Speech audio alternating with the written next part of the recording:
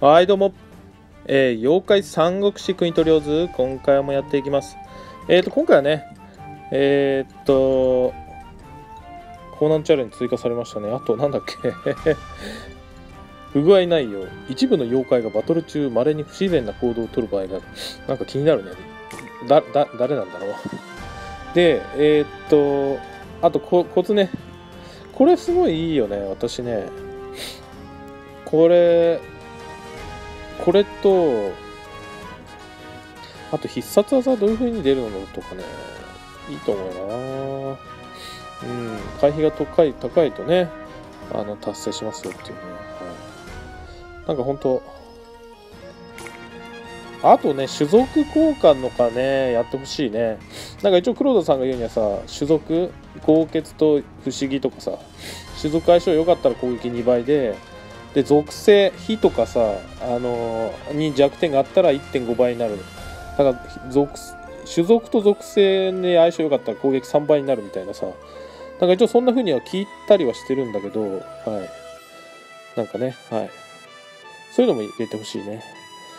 でえっ、と今回ねえっ、と天聖土雲ガシャやりたいと思います。まあなんていうんですかね。私はどっちかというと美課金税なので、しかも先月はね、課金を忘れてしまったぐらいの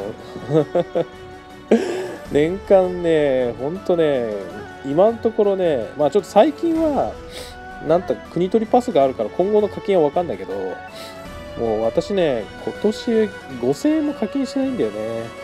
なんで、そんぐらいのユーザーからすると、もうなんか、手の届かない妖怪っていう感じがしますかね。えー、っと、今回のポイントはあれですかね。打ち消しくすねるたたり、睡眠。強いよねっていうね。必殺技強いなっていうね。で、取り付くも優秀で打ち消しガードと土属性アップということで、で、あと最近のトレンドはね、限界突破で打ち消しを受けた時にくすねるとかね、三突が陽気ゲージ速度アップを受けた時にくすねる。で、5突目が土属性の時くすねる。ってことで、陽気ゲージはないんだねっていうことで、まあ、組み合わせで使いましょうっていうことなんでしょうね。で、私の大好きな、ね、もう本当分かりやすいのが好きだね、潜在能力がね。命中アップとぶつかり系があって、クリティカルはないからクリティカル保管しなきゃいけないんだけど、超クリティカルあって、で、ちゃんとね、分かりやすい勇まし豪傑アップがあって、使いやすいよね、こういうのね。うん、で、1耐えしつつ、そう1対した時にね揚力アップするみたいななんかそんななんか洒落てんじゃねえかよって思うけどはいそんな感じですね。うん。なんか普通になんか使いづらい妖怪だけど使いやすいみたいなくすねるってちょっとなんかねうまく使うのどうやのっていう風に感じは思うけどまあこの必殺くすねる以外がすごい使いやすい妖怪なんでまあなんか一家に一台欲しいなっていうところありますね。で、必殺クスネルがね、今後の、どうなんでしょうね、必殺クスネル。あの、必殺打ち消しガードの時も私すぐ気づかなかったんですけど、重要性が。あの、必殺打ち消しガードって、あの、討伐戦とかで必須じゃないですか。第3形態とかで。で、必殺打ち消しガードって、あと誰だっけ？えっ、ー、と、今のエルゼメキアがそうなんだっけ？サマーエルゼメキアそうなんだけど、まあほとんど、すごい少ないんだよね。希少な妖怪だったんだけど、ただこの前、えっ、ー、とほ、ほぼほぼ4.5周年で大きい陣をほぼほぼ配布、配布してましたよね。という感じで、まあみんな持ってくれよってね、この妖怪持ってくれよ。で、ということで、あのー、必殺ね、クスネル必殺クスネルはね、今、世界に4体しかいないかな。うん。で、今回の土雲と、あと私持ってないのだと、メリクリ、メリクリコキビちゃんがそうなんだけど、でもみんな大好き文中がいて、で、文中が必殺クスネルがあるんだよね。で、あとキャトリーノもね、必殺クスネルがあって、まあ、これが打ち消しクスネルだから、これちょっとに、必殺技としてはまあ、水だしね、こっちは、文中は九州だっけ？あ、雷か。雷だからちょっと違うんだけどまあ今後どうなんでしょう。打ち消しガードみたいにあんまり妖怪出してこないけどみんな一体持てやっていうことで、まあ、今回のねあのいううんちくまとかあの日野神みたいなところの枠にえー、文中って入れなかったじゃないですか。あの4.5周年の時に。あの大基人は入れたけど文中は入れなくてあのなんだっけステップアップガシャのおまけに入れられたんだけどそうだから今後どうなんだろうね。クスネルさんがねクスネルって国取り向きなのかな？どうなんでしょう？今後あのイベントでクスネルがちゃんと発動しないと倒せないようなイベント？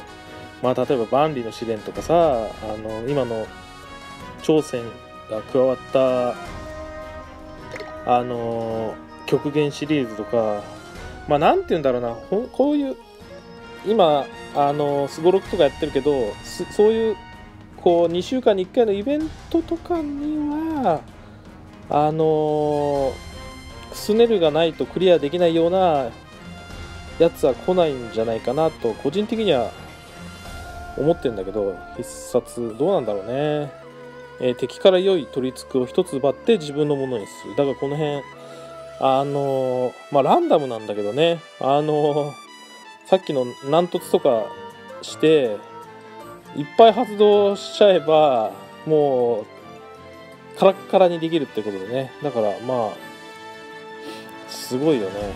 うん。でもこだからこうなんかちゃんとねいろいろ工夫して自分で強い防衛を組める人。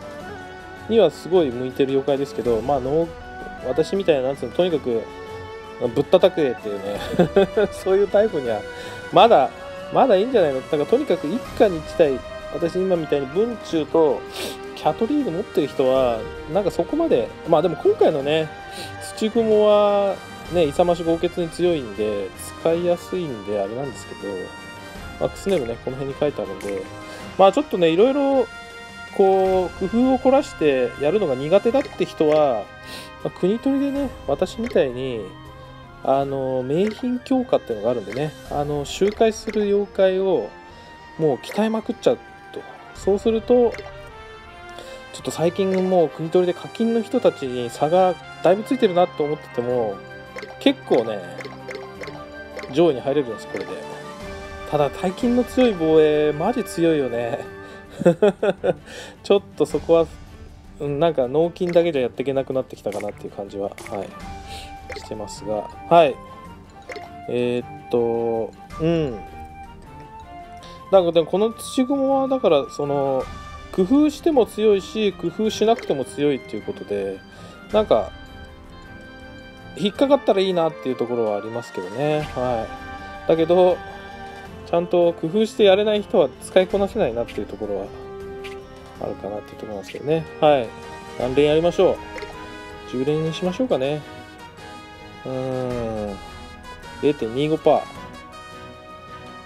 無料枠でもほんとさ最近質問もらうけどこれ取っといた方がいいですかって言われるんだけどわかんないよね。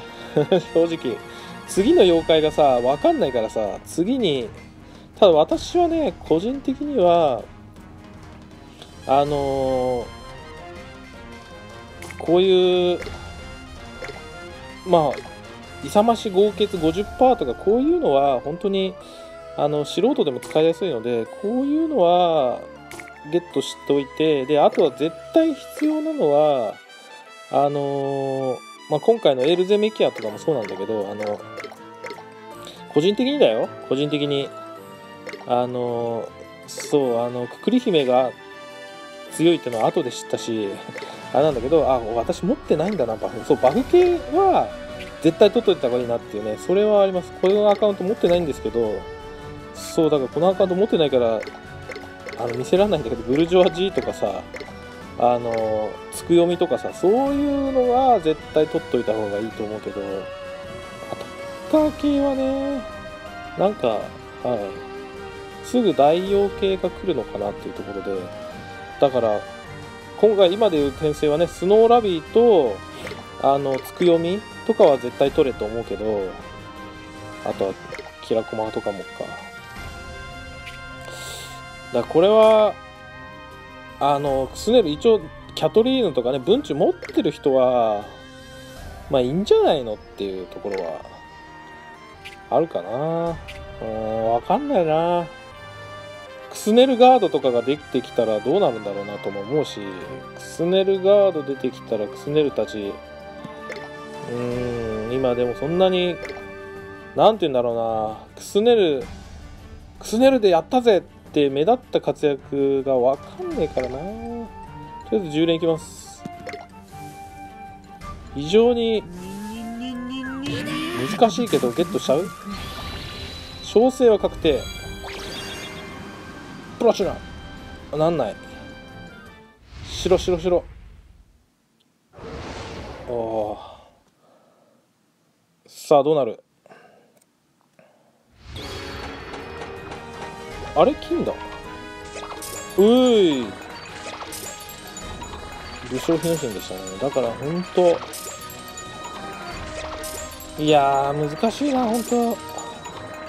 とつったらいいですか？って質問したらそれとつった方がいいけどちゃんと使えるの？ってねなんか本当にそう思うね。はい。という感じで。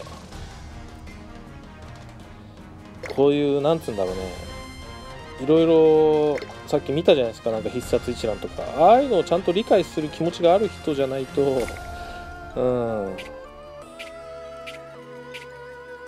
そう私なんか面倒くさがり屋にはねちょっとハイスペックなんじゃないかなと思いますけど。でもなんか本当いいですよねなんか。どっちのユーザー向きにも。大谷君みたいだね。二刀流のような強さだよね、うん、クロートにも素人にも使いやすいというか。使いやすい、うん、まあ使えるというかね、うん、諸君の奴らが力をつけていると聞いて偵察に参ったがそんなお主らには負けるわけにいかない。もちろん義と5の奴ら。炎章ってねなんか曹操となんかやってたよね。義五色に属さず奮闘してるとは聞きました。今三国が力を持っているが天下統一を果たすのは我が輩。だのために新たな力を身につけるとしよう。お主らは指を変えて待つがいい。ということで。うん難しいなあー難しいな。本当とつった方がいいですかって質問にどう答えたらいいんだろうなっていうね。本当それが分かりやしないですね。うん。うん。どうなんだろうね。今後。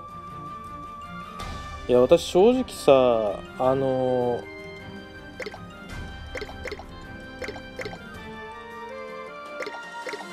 対抗棒とかこういう強いのがさ限界突破したら強い系みたいな。うん。なんかあんまりこう出てこないのかなと思ってたんだけどやっぱりなんか今後も強い妖怪バシバシ出てきそうな感じなんでうん正直なんか、まあ、今のエルゼもそうなんだけどなんか焦んなくてもいいのかなっていうね。